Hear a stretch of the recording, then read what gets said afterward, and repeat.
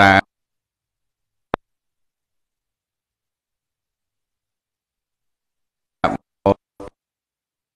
កវេអោអរហៈសម្ពុកានមសការថ្វាយបង្គំនៃខ្ញុំព្រះករុណាចូលមានដល់ព្រះ មានព្រះភាអង្គព្រះអង្គជាព្រះអរហន្តដ៏ប្រសើរទ្រង់ត្រាស់ដឹកនៅយធម៌ទាំងពួងដោយប្របីចំព្រះអង្គអត់មានគ្រូអាចារ្យណាប្រដៅ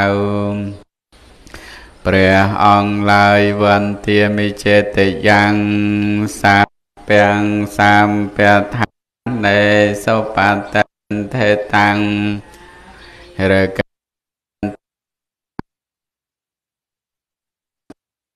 បាំងសៈតាំងសៈ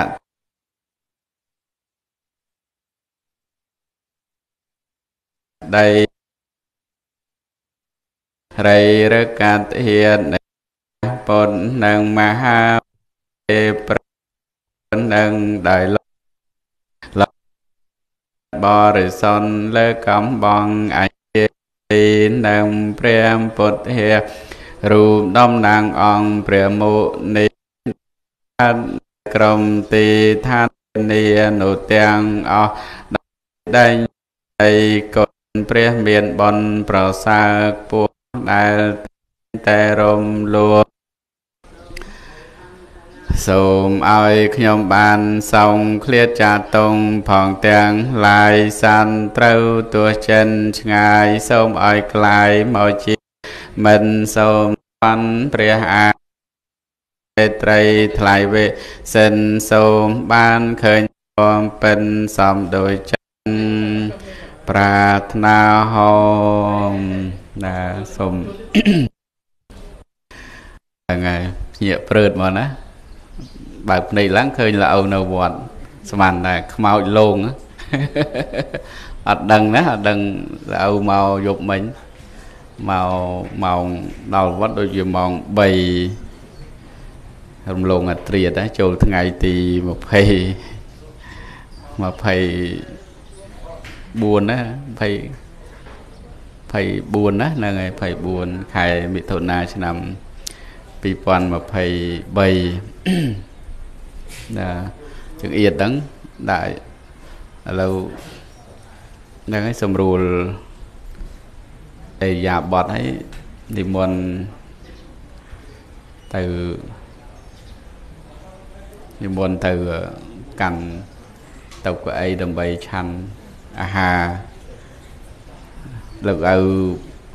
ប្រគេនដោយផ្ទាល់តាមតាមរយៈ លោកឪដែលមានពុទ្ធបរិស័ទចូលរួមនៅសហរដ្ឋអាមេរិកហ្នឹងថ្ងៃនេះចំណាយប្រគេនបណិតភុជនអាហារពេលព្រឹកមានគុយទាវទូកណាបើចង្អៀតមុនមួយវគ្គមួយវគ្គសិនទៅកុំឲ្យចង្អៀតកន្លែងណាមុនមុន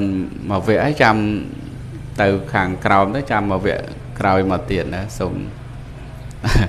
គូសោតអ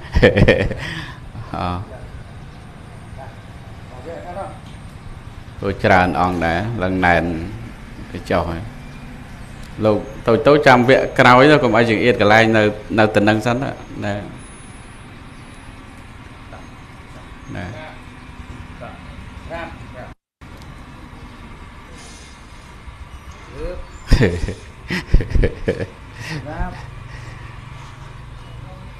ណា ក្រាបងើបណាមិនមិនទៅមិនទៅຕົកអីទៅគាត់តែមិនឆាន់ណា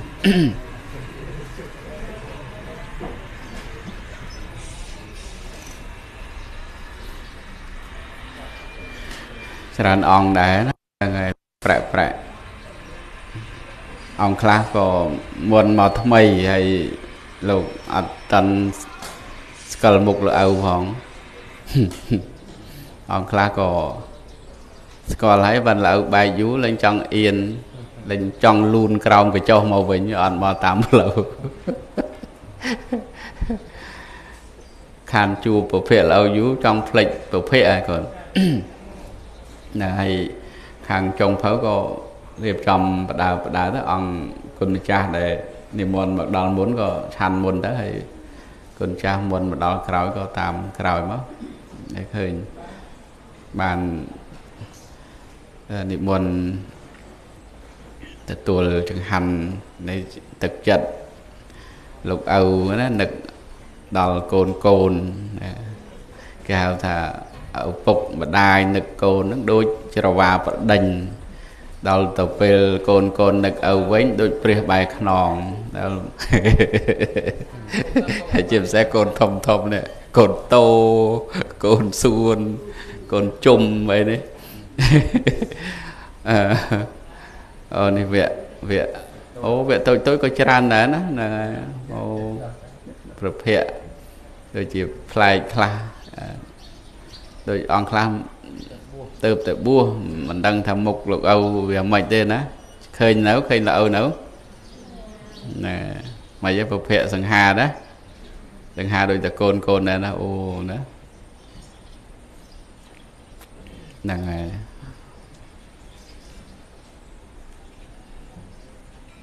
បានគ្រាន់តែបនឲ្យលឪមានកិច្ចទៅក្រៅហើយដល់ពេលមកវិញហ្នឹងឃើញមានបួសថ្មីថ្មីថែមថែមបានច្រើនទៀតដែរណាក្រាបក្រាប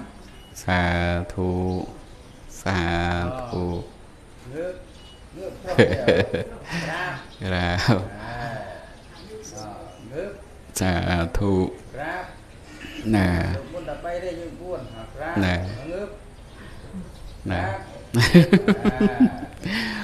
ហ្នឹងហើយបានបានហើយកូនមុនណាមុនតែឆាន់ណាណាមុនឆាន់ណាមុនស្រួលហើយខាងចុងភៅក៏បានចាត់ចែងយកមកខាងលើខ្លះមកហើយខាងក្រោមខ្លះមកខ្ញុំ បកណ្ដាអាត្មាភាពបាននិមន្តមកពីសហរដ្ឋអាមេរិកចេញពីថ្ងៃទី22ហ្នឹងហើយ22ម៉ោង1រសៀលនៅ Boston រដ្ឋ Massachusetts ហ្នឹងមកចុះនៅ កូរ៉េនៅសេអ៊ូលដូចជាមិនបានសម្រាប់អីទេចុះមកដល់ម៉ោងម៉ោង6 30នាទីចូលថ្ងៃទី23ហ្នឹងចេញពីកូរ៉េមកមកដល់កម្ពុជាហ្នឹងយប់មិញនេះម៉ោង10 30នាទីយប់ប៉ុន្តែយើងធ្វើដំណើរជិះតិចតិចមកហ្នឹង មកដល់វត្តប្រាសាទស្រះកដាខ្ចាស់យើងហ្នឹងចូលថ្ងៃទី24ពេលរំលងអត្រាដែរម៉ោង2ម៉ោង3ទៀបភ្លឺគឺណាដោយត្រៀមចង្ហាន់ប្រគេនសង់នៅវត្តប្រាកដថាពេលដែលមកដល់ ស្រុកខ្មែរហ្នឹងក៏នឹងប្រគេនចង្ហាន់បណៃតពុជនហ្នឹងដល់សំណាក់សិស្សរបស់យើងដោយការបែកគ្នាឃ្លាតឆ្ងាយអស់រយៈពេលជាង1ខែហ្នឹងហើយហើយមកហ្នឹងក៏ឃើញផ្លូវរួចរាល់ជាស្ថាពរហើយតាំងពីចំណុចផ្លូវជាតិលេខ 6មកដល់ចំណុចវត្តប្រាសាទស្រះកដាលខ្ចាស់ឃុំបោះស្បូវស្រុកពនិតព្រះខណ្ឌទីមានជ័យរបស់យើងហ្នឹងគឺថារយៈប្រវែងហ្នឹងអឺទៅ7គីឡូម៉ែត្រខ្វះតិចតួច7គីឡូម៉ែត្រថា7គីឡូម៉ែត្រតែម្ដងហ្នឹងហើយខ្ញុំប្រកាសអាត្មាហ្នឹងក៏ចង់ពិតប្រកេនដែរថា ប្រជាបរតព្រះសង្ឃក៏សបាយចិត្តរីករាយនៅពេលដែលឃើញមានផ្លូវល្អណាឃើញមានផ្លូវល្អទាំងព្រះសង្ឃទាំងអឺប្រជាបរតក៏មានសោមនស្សរីករាយ ក្នុងការទទួលបានពីរាជរដ្ឋាភិបាលក្នុងកិច្ចការកសាងជាតិតាមរយៈ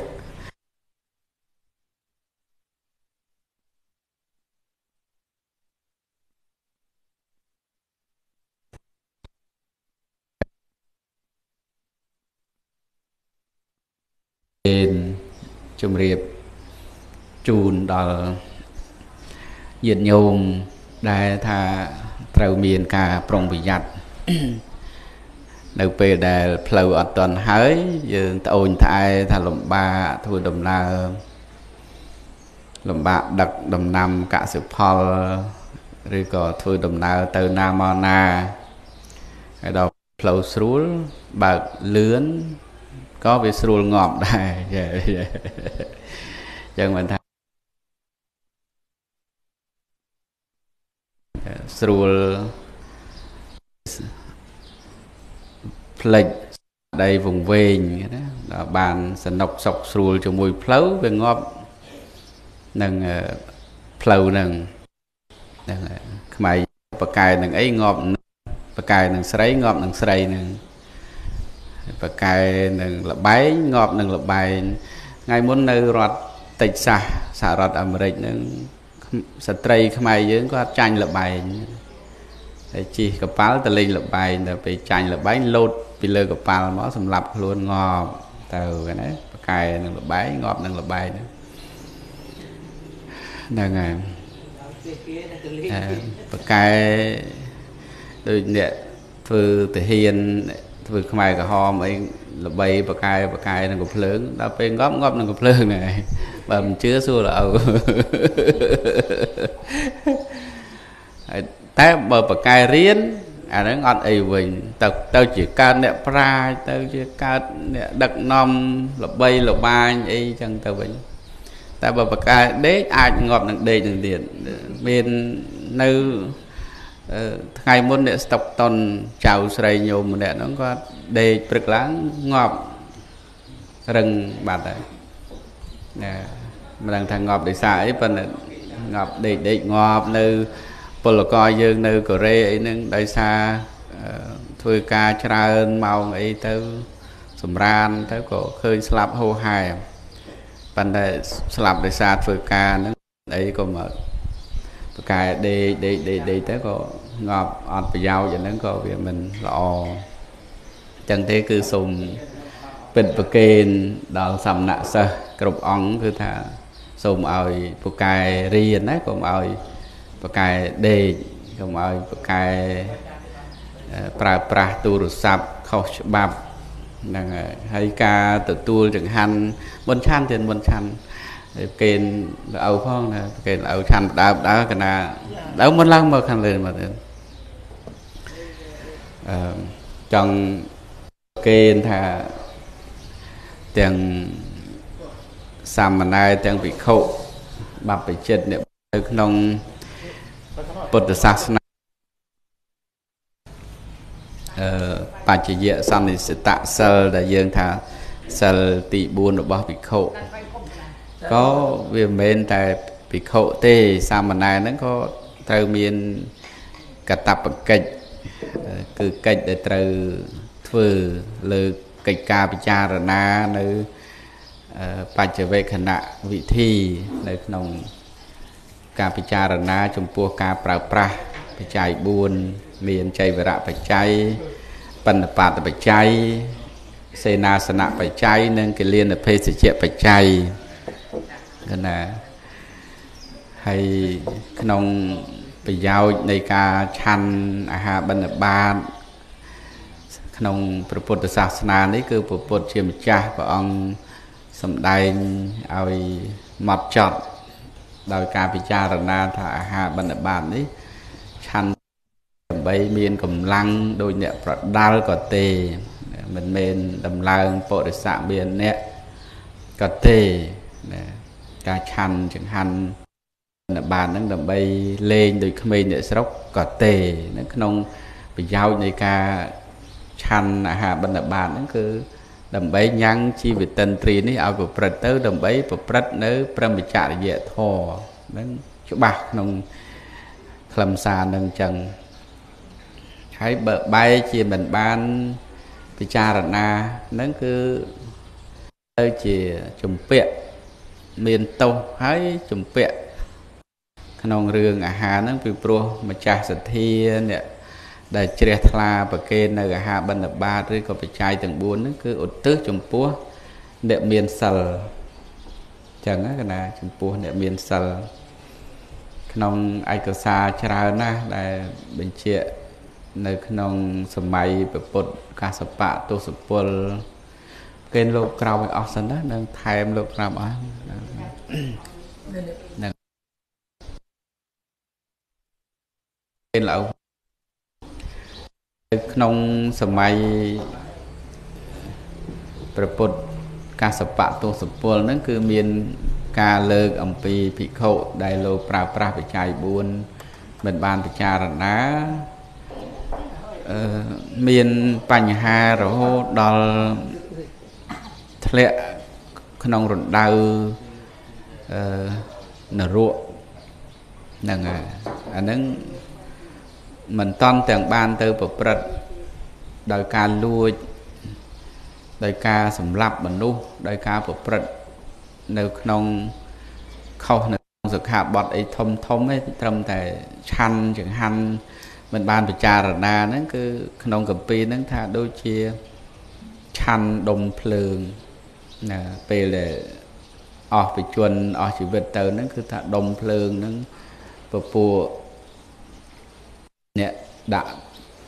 អាជ្ញាដាក់ទោសនៅក្នុងស្ថាននរកហ្នឹងរុកយកដុំភ្លើងធំធំរុកចូលក្នុងមាត់នឹងសត្តដិតអ្នកបួសកើតជានរកក្នុងស្ថាននរកហ្នឹងហើយមានបញ្ជាក់ថាក្រិនតែស្បង់ចវរដែលដាក់ នៅលើដែកប្រប៉ិនដើមថ្នោតដែកដែលដែលដាក់ដែកដែលភ្លើងឆេះហ្នឹងលឹងទន់ណាទន់ចវរអញ្ចឹងសោជាឃើញថាអ្នកបួសយើង សម័យពុទ្ធកាសបៈទសពលហ្នឹងធ្លាក់នរកច្រើនណាស់ច្រើនមែនទែនហើយមិនមែនធ្លាក់តែសម័យនោះទេសម័យមុនហើយក្រោយសម័យ ព្រះពុទ្ធកាសបៈហ្នឹងក៏សម័យសមណៈគោតមយើងនេះតែកាលណាភិក្ខុសាមណេរមិនមានសទ្ធាប្រព្រឹត្តគោរពតាមសិក្ខាបទហើយហ្នឹងក៏នឹងគ្រាន់តែមិនបានពិចារណាក្នុងរឿងអាហាររឿងការប្រើប្រាស់សម្ពុតជីវរសេនាសនៈកិលេនភេសជ្ជៈដែលអ្នកស្រុកមេសធាប្រកេនចុះតម្រាំមានចេតនាលួចរបស់វត្ត ណាឧទាហរណ៍ថាធ្វើឲ្យបាក់បែកតុកក្រេកៅអីដោយចេតនាមិនសងសងណាកណ្ដាដោយចេតនា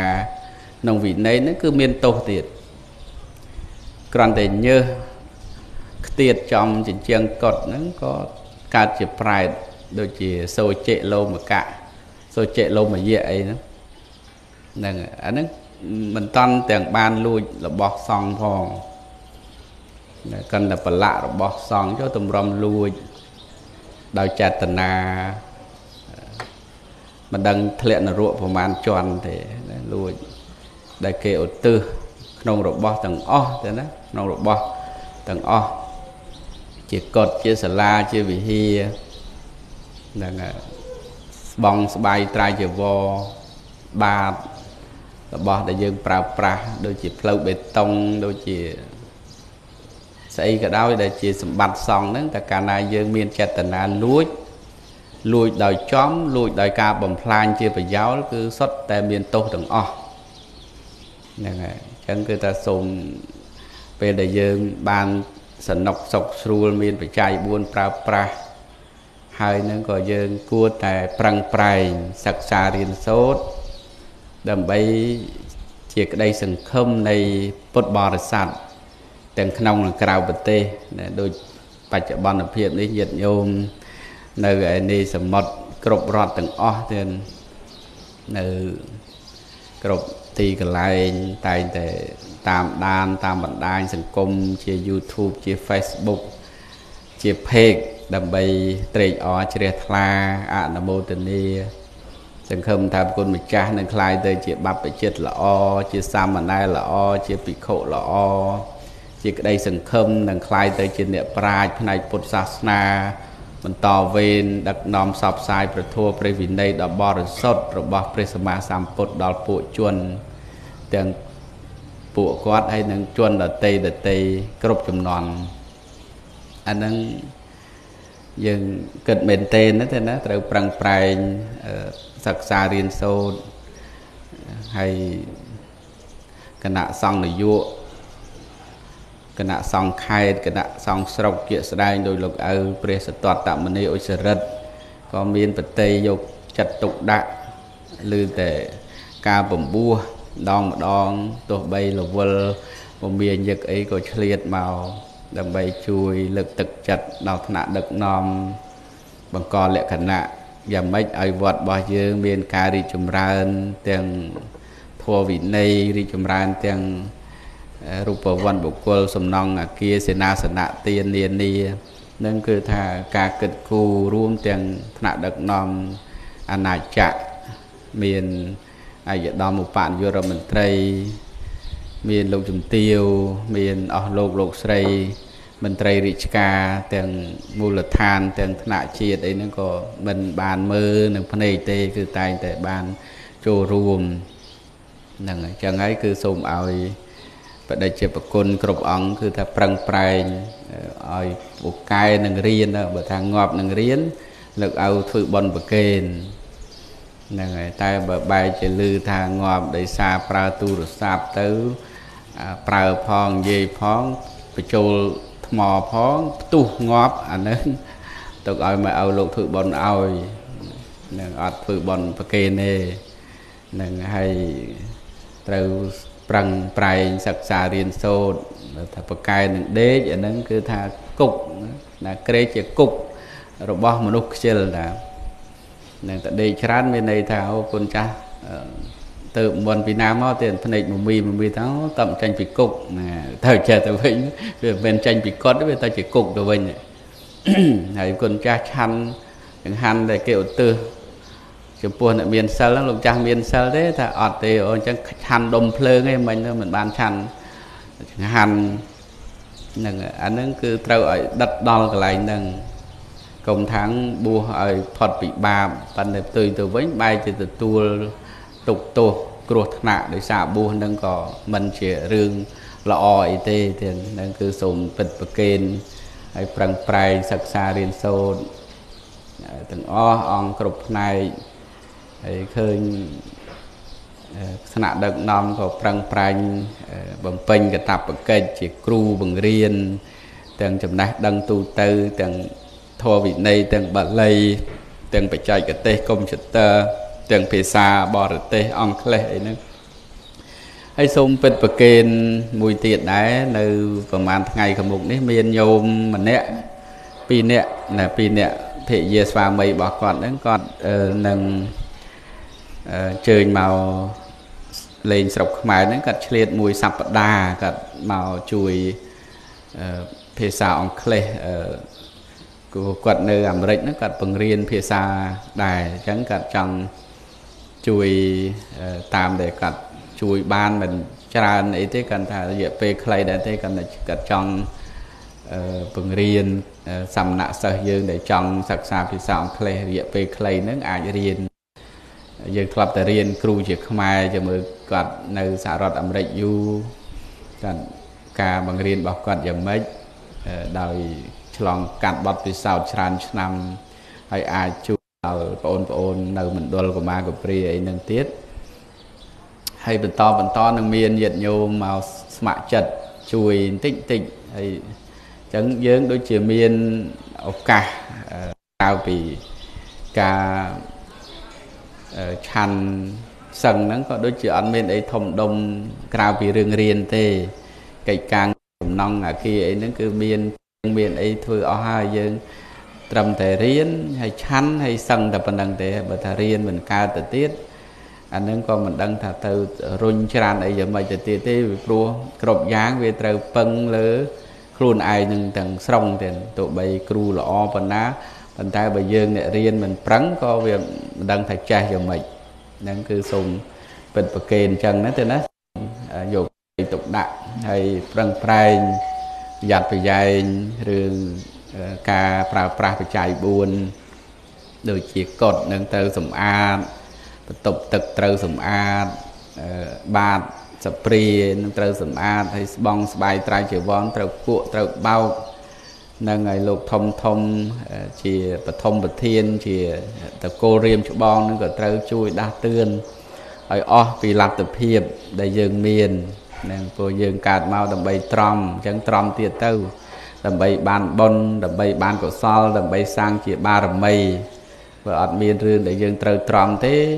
ខន្តីបារមីក៏វាមិនដឹងថាបានយ៉ាងម៉េចហើយបើខ្វះខន្តីបារមីមួយក៏មិនដឹងទៅត្រាស់ដឹងយ៉ាងម៉េចកើត ពីព្រោះការត្រាស់ដឹងវគ្គផលអាស្រ័យការសន្សំអភិនិហាបារមីទាំង10ទាំង30ហ្នឹងហ្នឹងគឺសូមពឹងលើមេកុដលើប្រធានផ្នែកលើលោកគ្រូលើក្រមការងារគ្រប់កន្លែងដើម្បីធ្វើយ៉ាងម៉េចឲ្យជាតិសាសនាធ្វើយ៉ាងម៉េចឲ្យវត្តអារាមរបស់យើងមានការរុងរឿងរីករីកចម្រើនតរៀងទៅអញ្ចឹងខ្ញុំបកណ្ដាអាត្មាសូម ក្រានរំលឹកដាស់តឿនហើយឆ្លៀតឱកាសនេះក៏សូមថ្លែងអំណរអរព្រគុណនិងអរគុណចំពោះព្រះអង្គគ្រូដែលបាននិមន្តមកទទួលផត់នៅពេលនេះហើយនឹងអរព្រគុណព្រះអង្គគ្រូគ្រប់វត្តទាំងអស់នៅសហរដ្ឋអាមេរិកដែលបានទទួលស្វាគមន៍ខ្ញុំបកណ្ណាអាត្មាភាពហើយនឹងអរគុណញាតិញោមពុទ្ធបរិស័ទគ្រប់រដ្ឋដែលបានចូលរួមក្នុងកិច្ចការ ចង្ហាន់ត្រួតត្រងចង្ហាន់ក្តីកិច្ចការកសាងក្តីទាំងវត្តប្រាសាទស្រះខ្ចាស់និងទាំងវត្តធម្មាលង្ការាមភ្នំព្រះសូមទទួលបាននៅឧបនិស្ស័យនៅបនកុសលនឹងបានជាបច្ច័យនៃការរត់ផុតចាកទុកនៅពេលដ៏ខ្លីខាងមុខនេះបីឃ្លៀងឃ្លាតខ្លាចជាប្រការៈដតីឡាយក៏សូមអនុមោទនីអនុមោទនីបុណ្យណាមុន